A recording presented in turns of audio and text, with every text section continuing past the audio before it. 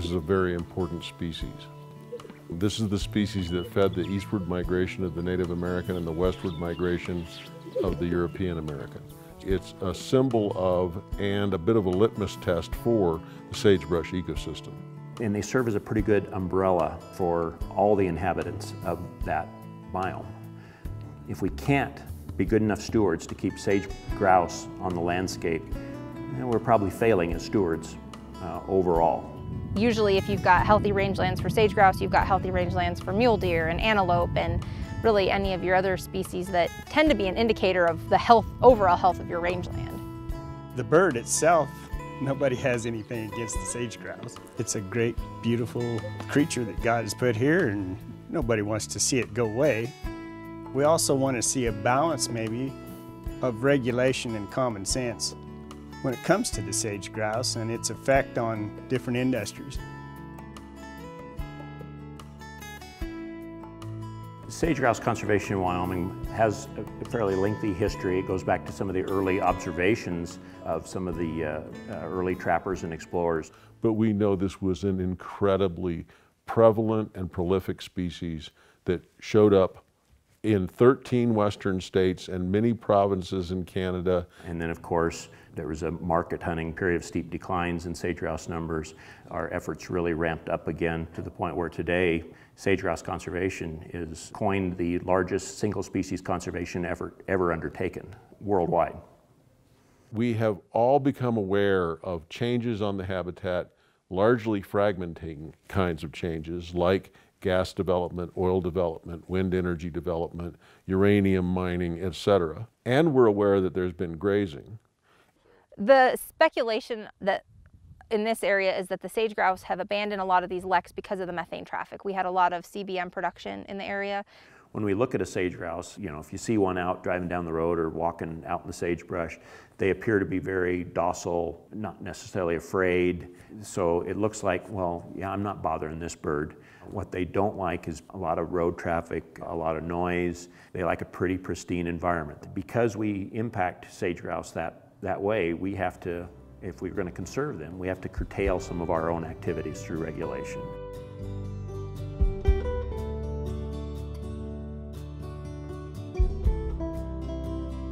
Well, that I think the Endangered Species Act is what uh, was the basis for the concern about the sage grouse.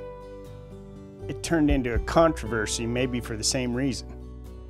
So sage grouse have been petitioned for listing under the uh, Threatened and Endangered Species Act numerous times over the last 20 years. The Endangered Species Act can be kind of a scary thing to a landowner, being worried about how the regulations will affect day-to-day -day operations on a ranch. And I think that not just ranching, but the energy industry as well. Certainly a lot of the state uh, sponsored programs would go away. They would be a federal listed bird and all parties would be subject to the um, provisions of the Endangered Species Act, which would be more restrictive to development, things like energy development, possibly federal land grazing, potentially activities on private lands as well. Just in, in Wyoming, they were looking at a loss of about $8 billion in revenue if the bird had been listed and stopped everything. So we went about starting to ask for people to help us to build a caring system for the sagebrush ecosystem. There was also uh, court action that uh, told the service they were going to have to reanalyze their decision not to list the bird. This is back in uh, uh 2007. Uh, Governor Freudenthal saw that this was going to uh, be a, a, bigger issue than what the local working groups could handle on their own, that there needed to be some statewide uh, and even range-wide coordination.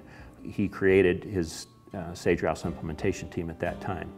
So we had gas developers and miners and ranchers all on board this committee. And believe me, there were some heated discussions at those first meetings. That team uh, uh, met for about a year, developed um, a series of recommendations, and that resulted in the first governor's executive order regarding sage grouse uh, in the fall of 2008. We have gone to Washington, D.C., all stumping for the same side of this issue. And we've had both Democrat and Republican governors and leadership pushing for the same protections.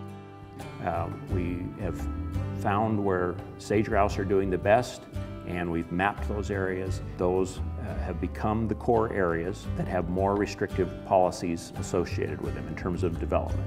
And therefore, we have reduced conventional drilling, the overhead, old fashioned type, over 60%, and we have increased directional drilling over 1,600%.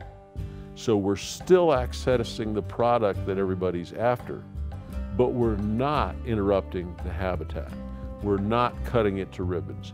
You do research, you find out what's the, the least you can do before the grouse begin to recede. And we found that anytime you did more than 5%, actually 3% disturbance, you start to see a diminishing of the population. So those were the limits that we placed. Part of our ranch is in the core area, and that has had an impact on ranching, not necessarily a positive one. Having to go through the game and fish in order to put in a pipeline, for example, or an irrigation system just because we're in the core area, when in fact, our ranching practices and the sage grouse have existed together here for, for many, many years, and I don't see that that's going to be necessary to do that. Most ranching activities are compatible with sage grouse if they're managed properly. Now, that's keeping the native vegetation on the landscape, not removing sagebrush. That's going to be compatible with sage grouse. So the phrase, uh, what's good for the herd is good for the bird, and vice versa, is true. It's better to be on the front end of something that you think is going to be a problem than on the back end. And so if you think that somebody is going to come in and start trying to change your management for you, it's a lot better to be involved in the front end on those discussions about how that might look or what things we can do to be proactive about it. Our current practices, we started implementing them because of some working groups and things like that in the area when the sage grouse was initially started to be a big concern out here.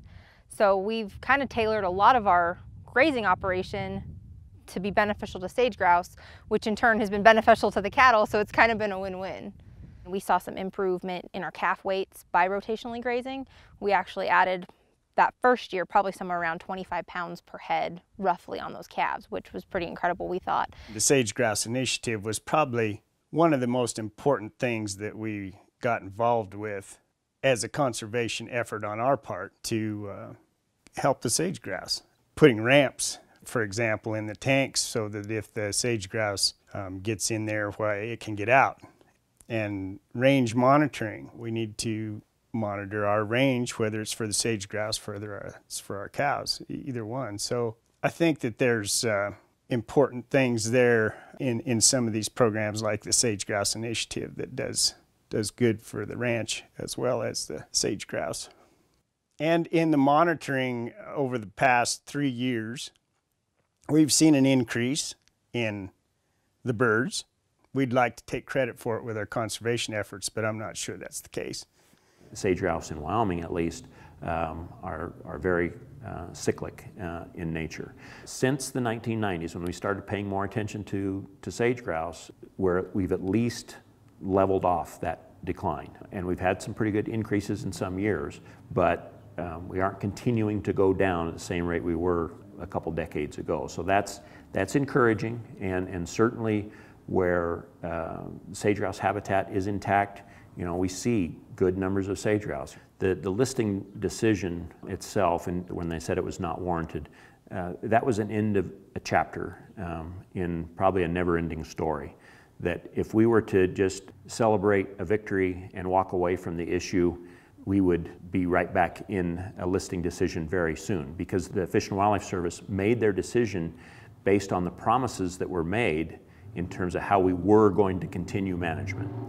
Uh, we really can't let our foot off the gas pedal in terms of, of conservation. Sometimes we get so wrapped up in our own program that we forget to smell the roses, and I think that the Sage grouse is, uh, is a great bird and, and I've been rewarded by paying closer attention to it.